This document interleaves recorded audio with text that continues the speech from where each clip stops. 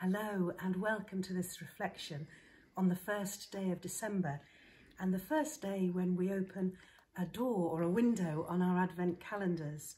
I've just got this little advent calendar and behind the first window is a donkey but really too small for you to be able to see it. So I'm thinking about donkeys today and the important role that the donkey plays on three occasions in Jesus' life. The first is familiar from nativity scenes and nativity plays, where the donkey carries Mary, heavily pregnant, to Bethlehem and is there in the stable for the birth of Christ. The donkey is often shown also carrying Mary and Joseph as they flee Herod and they journey to Egypt. I love this painting from the Birmingham Art Gallery, where you can only see the donkey's head and Joseph looks utterly exhausted as they rest on their flight to Egypt. And then here, in an African image, we see Jesus entering the city of Jerusalem on Palm Sunday, riding on a donkey, the humble man who is king of the whole world.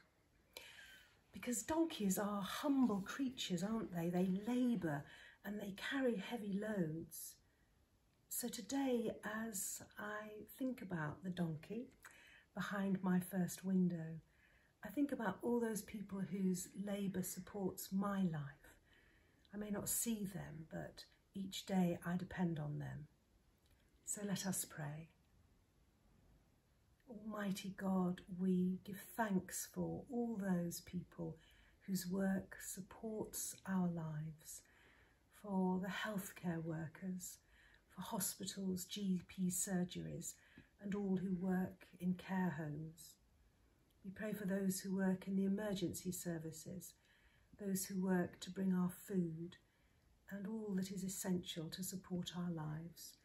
May we never take them for granted, Lord, in the name of Christ, who rode on a donkey.